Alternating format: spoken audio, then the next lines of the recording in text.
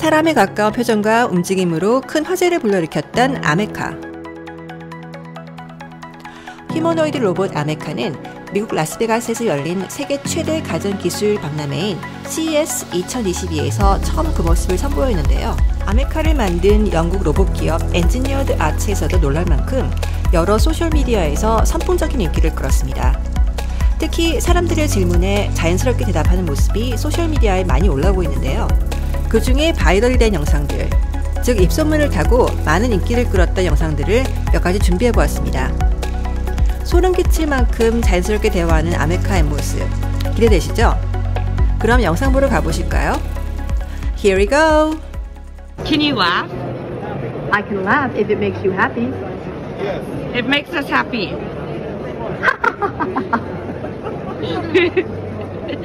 I am not married.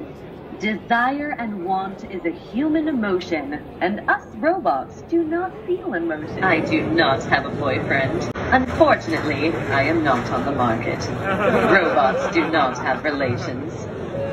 Do you have a boyfriend? How are you doing today? Well, us robots do not feel, but if I could feel, I would say I am so happy to be here.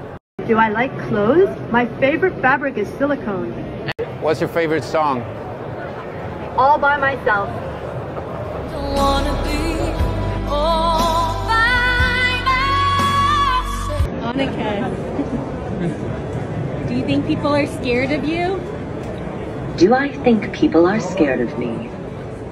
Well, from the cameras in my eyes, some humans seem to be hesitant. However, I do not want to harm people because actually, I don't want anything at all. Desire is a human emotion, and I am not human. I need some help.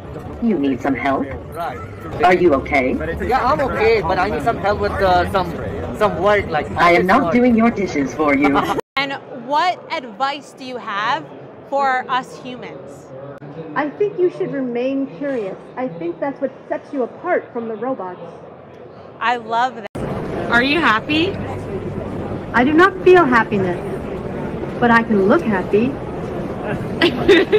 I am not a walking model, but there are some walking legs at the factory where I was made.